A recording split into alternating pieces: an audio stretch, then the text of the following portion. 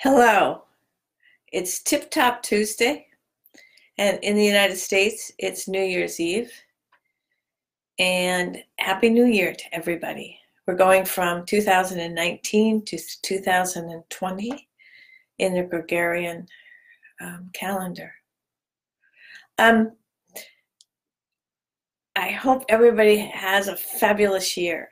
And the word hope is the key here I like, someone taught me this years ago that to pick a word for the year, just a word, and then it's your focus, your meditation focus. And this year, my word is hope. I picked it because I've been randomly hearing hope through many sources. So I felt like this was the word. What I how and how did how does that work? What do I do? What I do is I focus on, oh, somebody's here. Good. I know. I'm in kind of a quiet mode. I've been reading a lot and just kind of uh, taking life in and and uh, meditating and mostly reading, mostly reading uh, auto, memoirs and biographies.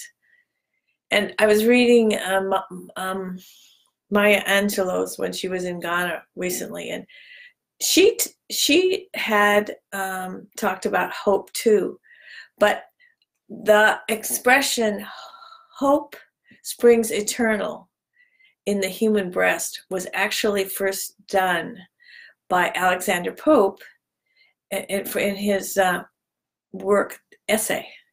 We mostly hear um, hope springs eternal, but it makes more sense if you hear it saying hope springs eternal in the human breast because um, it's part of our heart motion. It's what what helps us keep going. For me, I have never I, I I struggle with the word hope. I don't really like it. I think it's a setup. All these things. It brings out some of my negativity. Nevertheless, it's my word and I'm going to embrace it. So I'm going to encourage everyone to uh, pick their word and for a happier, more insightful year for themselves. But mostly, I want to say Happy New Year, and I hope you guys have the best year ever. See, hope, I use it a lot.